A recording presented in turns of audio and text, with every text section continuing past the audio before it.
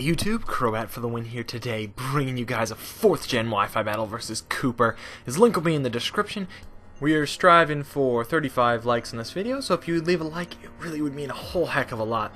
Now this is probably going to be my last 4th gen battle, maybe if they get an unofficial hack going in the future, maybe there'll be another one somewhere, but this is my last real, authentic Wi-Fi 4th gen match. You saw the team preview? Just jump right into it.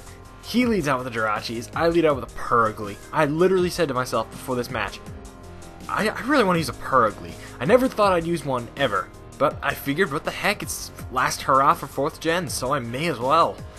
I just go for the, the taunt because I thought maybe he would go for something like a Stealth Rock or a Trick or something weird like that. Or I'm just gonna U-turn out as he sets up a Doom Desire, which was weird. I guess that that's gonna help him because Purugly's very frail. That'll something's gonna take a lot of damage in the future.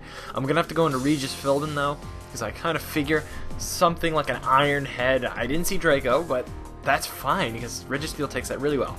But the Iron Head wouldn't have done anything. I figured if this thing wanted to go for uh, a Thunder Wave in the future, even though it's taunted, I figured it could take that as well. I thought it pretty much countered Jirachi fully. Uh, he's just going to U-turn out of there, as that does nothing at all. Registeel just gonna set up some Stealth Rocks because I kind of thought he may go into a Ground type, so I figured it would just be safer to set them up.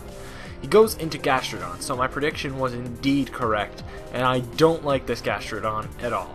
The one thing that I feel comforted about is that that thing does not have Storm Drain, and thank heavens for that. Unfortunately, I'm going to have to take the Doom Desire attack, and this is going to do a lot more than I would have expected, proving that Purugly's bulk is non-existent. I go into God, Pelipper. This was inspired by one of Magnitude on YouTube's videos I saw a couple weeks ago. You know, the godlike Pelipper that lived a Lucario, Mega Lucario close combat, or something like that, and won him the game, I don't know. So this thing's basically God.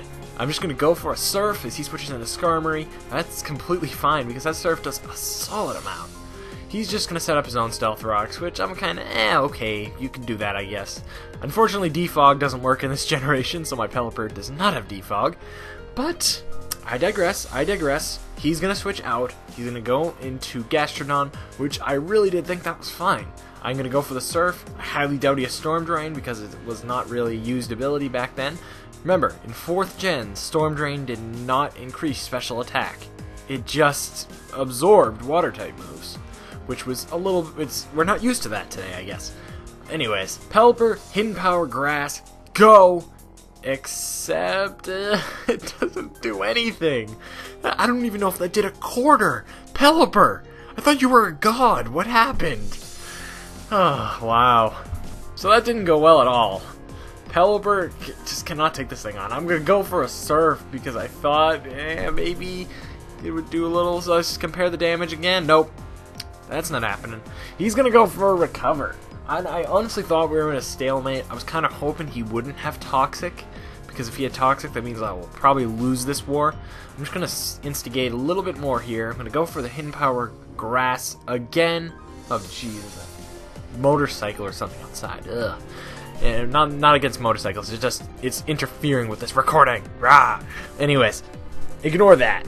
I go for the hidden power grass as he does show the toxic, so I am not happy about that at all, because now my wall Pelipper is poisoned. You can tell how happy I am about that, because I'm gonna have to eventually switch out. This matchup is just not gonna work.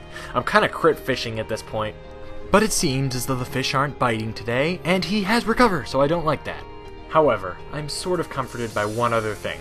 Scald does not exist in this game, which means I can switch into Scizor, get tons of damage off of the U-turn, and have no fear of a burn or a toxic, and I know I can take the Earth Power any day of the week. So that's exactly, after taking this poison damage, what I'm going to do. I just, I know I can't deal with this Gastrodon with this Pelipper anymore.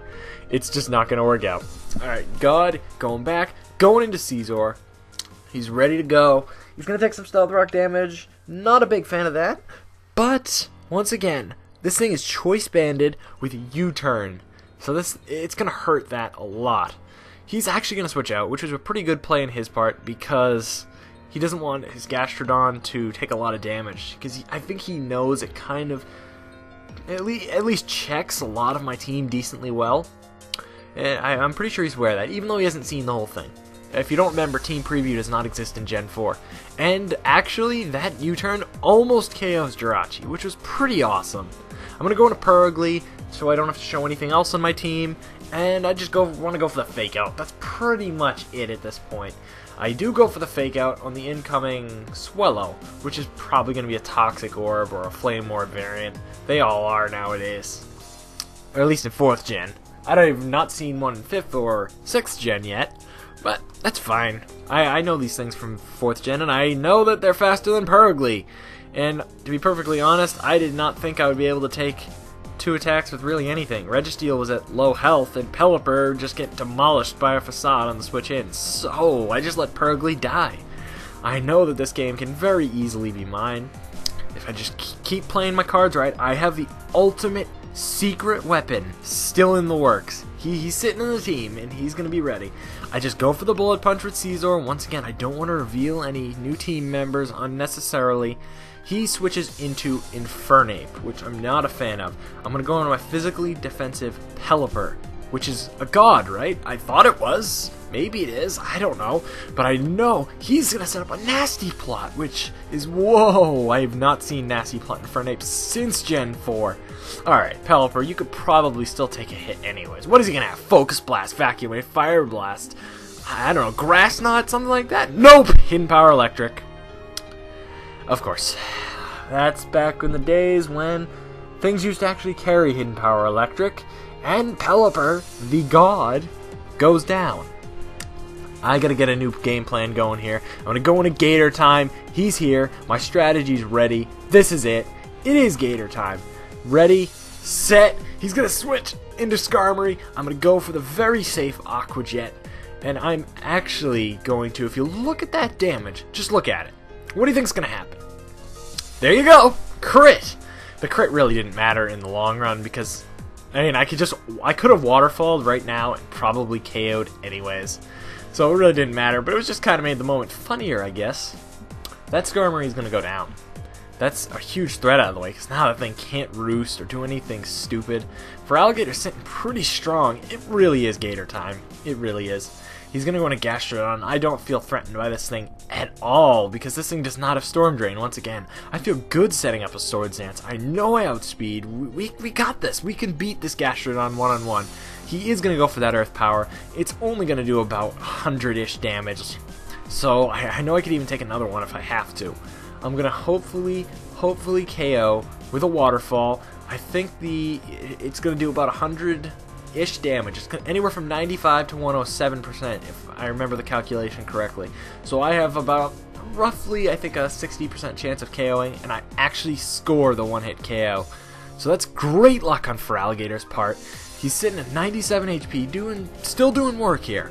He's actually going to go into Dugtrio to go for the Sucker Punch. Not looking forward to that, but I think because of Feraligatr's natural bulk, I should be able to live one, and I do. 3 HP, gonna go for the Aqua Jet, and Life Orb is gonna take Feraligatr out in a second, but at least that Dugtrio is gone. So we have Feraligatr Gator Time has got three KOs on the day, which is amazing. He's saving this game. I'm gonna go into V equals IR, which is a physics equation. No, actually, it's an Electivire. I'm terribly sorry. I'm profusely sorry about that. But he's gonna go into Infernape which I'm not liking. He could have an earthquake, maybe. He actually doesn't, which is cool. I mean, I figured maybe since he was nasty plot, he could run mixed. He did say he had close combat, so I thought it was a possibility. He does just go for the flamethrower, and he gets the burn. But guess what? Mixed Electivire, going for Thunderbolt. No, get out of here, Infernape. You're you're dead. You're just dead. Unfortunately, Electivire, even after doing that work, is going to die to an unfortunate burn, which means physics equations are no longer valid. Oh god, then the entire universe implodes. Physics equations no longer work, we're all dead! Well, I guess we are all dead, at least on Kooper's side, unfortunately, because his Jirachi is going to die to Stealth Rocks, as I still have, I think, two Pokemon left. So that was a really solid game, though. Kooper. That was a really excellent game. We obviously got to see Gator Time, but we got to see a lot of old 4th gen threats, some 4th gen fun pokes, and Pelipper. we saw Pelipper fail. We also saw it fail. And we saw it fail. So I think we've seen it all. I think this is a pretty intense ending to a general 4th gen saga. I, I can't say this is the last battle ever for 4th gen because maybe if there are unofficial servers in the future, maybe we'll have another one sometime. All I can tell you is look for, for I think I have one last 5th gen battle I'd like to show you guys, and then from there it's pretty much going to be 6th gen consistently. Maybe an occasional 3rd or 2nd gen, but that's about it. It's going to be mostly 6th gen. So hopefully if you like this video, and maybe if you'd like to, for the sake of 4th gen, leave a like on this video. We're going to strive for 35 likes. If you guys don't mind, that'd be pretty awesome. And like I said, for 4th gen, for its defeat, for its end, you know, rate, comment, subscribe. That would be really nice too. And moment of silence for 4th gen. And peace out, guys.